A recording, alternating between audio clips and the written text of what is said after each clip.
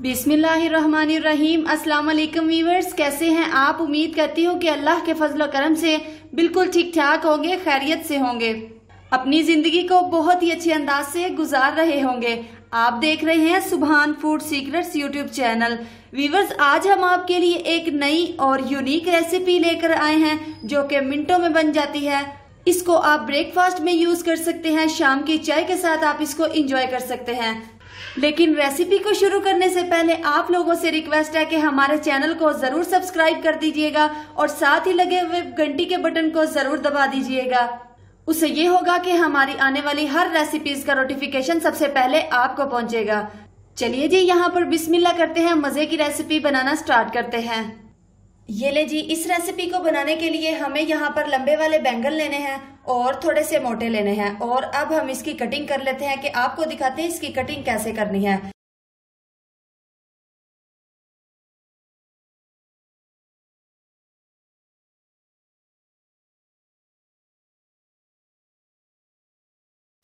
यहाँ पर व्यूवर्स आप लोगों ने वीडियो को एंड तक ज़रूर देखना है। बहुत ही ज़्यादा मज़े की रेसिपी बनने वाली है आज। ये देखिए, बैंगन को काट के हमने इसको नमक वाले पानी में डाल के रख देना है ताकि ये ब्लैक ना हो जाए। ये देखिए, यहाँ पर अब हमने इस बैंगन के ये अंदर वाले बीज निकालने हैं। यहाँ पर हम लेंगे एक चम्मच और इसकी मदद से हम इसके यूँ बीज निकाल देंगे। बहुत ही आसानी से निकल जाएँगे। यूँ इसको गोल घुमाते जाएँगे। ये देखिए, इस तरह से। बाकी का जो इसमें बीज रह जाएँगे, वो आप यूँ फिंगर की मदद से कर लीजिएगा।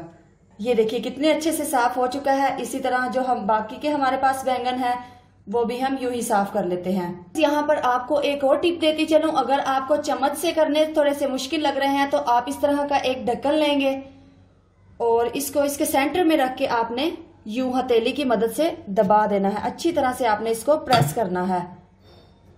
ये देखिएगा, बहुत ही आसानी से और बहुत ही खूबसूरती के साथ ये देखिए, कितने अच्छे से अलग हो गए हैं। और ये भी हम निकाल लेंगे यूँ नाइफ की मदद से। ये देखिए, यहाँ पर सारे बैंगन के हमने जो बीज हैं, वो अलग कर लिए हैं और ये देखिए, ये कितने खूबसूरत लग रहे हैं इस तरह से। बहुत ही आसानी से ये हमने अलग कर लिए हैं और ये हमारे पास बीज हैं, इनको भी हम जाया नहीं करेंगे।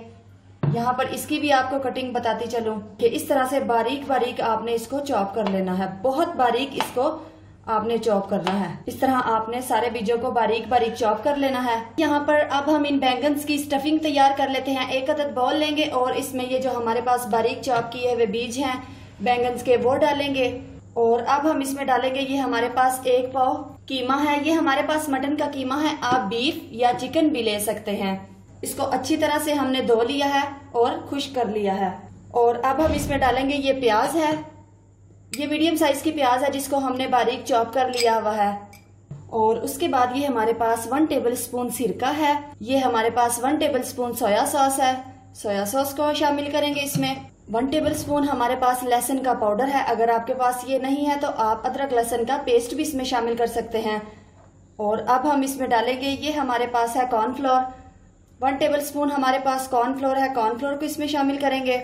वन टेबल स्पून इसमें जाएगा लाल मिर्च का पाउडर हाफ़ टेबल स्पून इसमें जाएगा नमक, हाफ़ टेबल स्पून ही इसमें जाएगी हल्दी, हाफ़ टेबल स्पून इसमें जाएगा साबुत जीरा, हाफ़ टेबल स्पून खुश्क धनिया पाउडर और दो चुटकी काली मिर्च का पाउडर। पाउडर मसाले हमने इसमें ऐड कर दी हैं और अब हम इसमें शामिल करेंगे अंडा। यहाँ पर सबसे पहले हम एक अंडा इसमें पहले शामिल करके देखेंगे। अगर हमें ज़रूरत पड़ेगी तो हम एक और इसमें ऐड कर देंगे। अंडे को अच्छी तरह से हमने फेंट लिया है। और अब हम इस मिक्सचर को कर देते हैं अच्छी तरह से मिक्स यहाँ पर यह मिक्सचर हमें बहुत पतला चाहिए। एक और अंडा हमने इसमें डाल दिया और अब हमें इन सारी चीज़ों को करना होगा हाथों से अच्छी तरह से मिक्स ये देखिए वीवर्स यहाँ पर सबसे पहले लेंगे हम एक पैन और उसमें डालेंगे तकरीबन two two three tablespoon cooking oil यहाँ पर जो है फ्लेम वो लो रखेंगे कुकिंग ऑयल गर्म हो चुका है और अब हम इसमें ये जो हमने बैंगन के स्लाइसिस काट के रखे हुए हैं, वो सेट करते जाएँगे।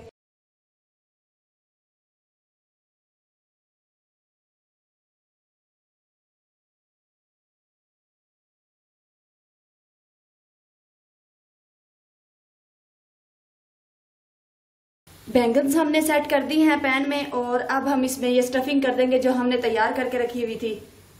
इस तरह से बिस्मिल्लाहिर्रहमानिर्रहीम, यूँ आप स्पून की मदद से इसमें आपने इसको फिल कर देना है स्कीमे को जो हमने तैयार किया हुआ था। ये देखिए इस तरह से और यूँ ऊपर से प्रेस करते जाना है साथ ही साथ। ये लीजिए, यहाँ पर सारे बैंगन हमने अच्छी तरह से फिल कर लिए हैं। ज़रूरी नहीं है कि आप इसमें कीमा ही ऐड करेंगे। आप बॉयल्ड आलू भी इसमें स्टफिंग कर सकते हैं। दो मिनट यहाँ पर एक साइड लेगी और फिर हम इसकी साइड को चेंज करते हैं। इसको हम कवर कर देंगे यहाँ पर तकरीबन दो मिनट के लिए लो फ्लेम पे। ये ले वीवर्स यहाँ पर दो मिनट हो चुके हैं इसको लो फ्लेम पे पकते हुए और अब हम इसकी साइड को चेंज करते हैं। ये देखिए, यूँ इसको ऊपर से प्रेस करते जाएँगे साथ ही साथ। तो ये देखिए, दूसरी साइड को भी यहाँ पर दो मिनट हो चुके हैं और अब हम इसको चेक कर लेते हैं कि ये तैयार हुए हैं कि नहीं। तो ये देखिए, माशाल्लाह से कितना खूबसूरत सा कलर आ चुका है। ये बिल्कुल रेडी है और अब हम इनको निकाल लेते हैं। ये देखिए, कितना मज़े का कलर इसका लग रहा है और ये खाने में भी इतने ही ज़्यादा टेस्टी बनेंगे। तो ये लीजिए वीवर्स माशाल्लाह, अल्हम्दुलिल्लाह, बैंगन हमारे बन के तैयार हो चुके हैं। इसके ऊपर हम ये चाट मसाला स्प्रिंकल कर देते हैं। और साथ ही हम ये हरा धनिया इसके ऊपर स्प्रिंकल कर देते हैं। जो कोई बैंगन शौक से नहीं भी खाता, वो भी खाने लग जाएगा। एक बार आप इसको बनाएँगे, आपको बार बार इसे बनाने की फरमाइश की जाएगी। वीवर्स अगर आप लोगों को वीडियो अच्छी लगी हो तो वीडियो को लाइक ज़रूर करिएगा। अगर आप चैनल पे नए आए हैं तो चैनल को सब्सक्राइब किए बिना मत जाइएगा। अपनी दुआओं में याद रखिएगा। मिलते हैं इंशाल्लाह नेक्स्ट वीडियो के साथ नेक्स्ट रेसिपी के साथ। तब तक रखना है आपने अपना ढेर सारा ख्याल। दुआओं में याद रखना है। हँसते रहिएगा, मुस्कुराते रहिएगा। यूँ ही आप हमारे साथ साथ रहिएगा। अल्लाह हाफिज।